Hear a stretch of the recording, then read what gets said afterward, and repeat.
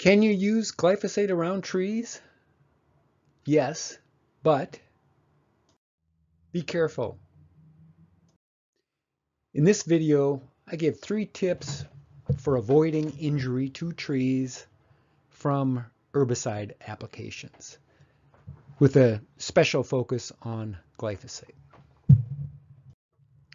First off, make sure you are not treating suckers of desirable trees.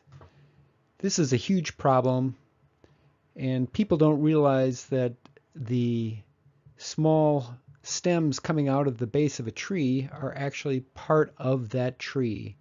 And oftentimes people will treat these suckers just like they would any ordinary weed. Don't do this. Second, don't allow overspray to contact the bark of trees.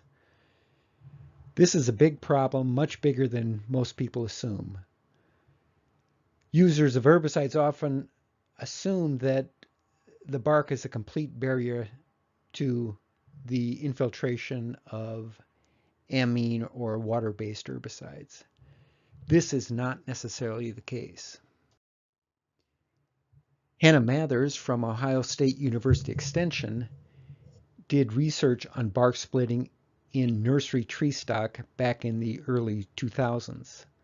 She determined that bark splitting was often caused by off-target spray of glyphosate products, especially those with surfactants. Bark splitting is a major problem for the horticultural and nursery industry it cause, causes multiple millions of dollars in losses every year. The third tip is to avoid flashback, follow two precautions. Now by flashback, I mean the loss of herbicide through the roots of the treated tree. So the target tree or weed loses the excess herbicide through its own roots, and that may be taken up by another desirable plant. So, the first precaution to avoid flashback is this. Near desirable trees, don't use herbicides that contain dicamba, imazapyr, picloram, and 2,4-D. All of these herbicides have been found to cause flashback because they're very active in soils. The second precaution to avoid flashback is this.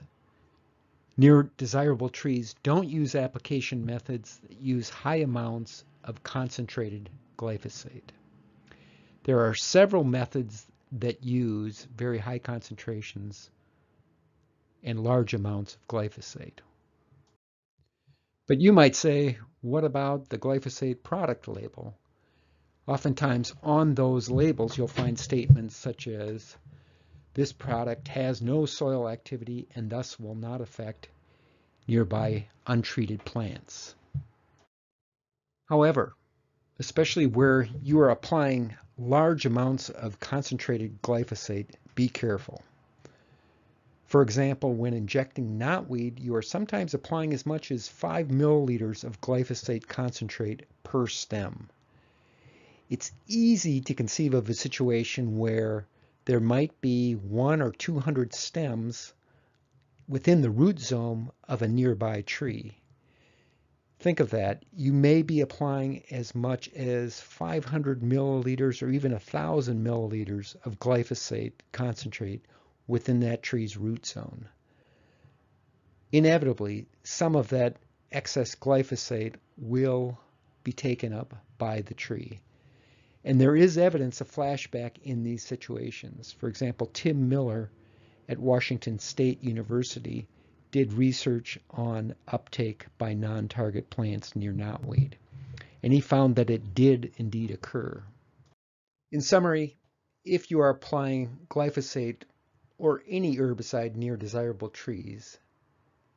To avoid flashback, take these two precautions. First, don't use flashback-prone herbicides such as imazapyr.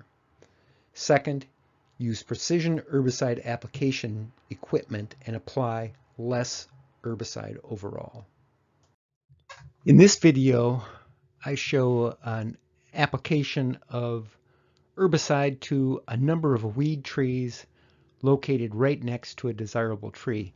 In this case, the desirable tree is a red oak on the left, the big tree with a lot of bark, and then to the just the right of it are several buckthorn, common buckthorn, a weed tree, and the application is uh, to all of these buckthorn. And you'll see we're using foam herbicide from my company Green Shoots, and we're cutting those uh, those trees close to the ground, leaving about an inch above the ground, and then cleaning off all the sawdust on the stump face and applying the foam herbicide directly to the stump face, and in particular making sure that the application touches the outside or the cambium area or the phloem area of the weed tree. These applications work extremely well. The foam stays in a liquid state for a lot longer than a typical spray. It's also very, very precise, so you get no overspray. None of that herbicide is going to touch the bark of the desirable tree on the left, and almost none of it will drip down the sides of the cut stem.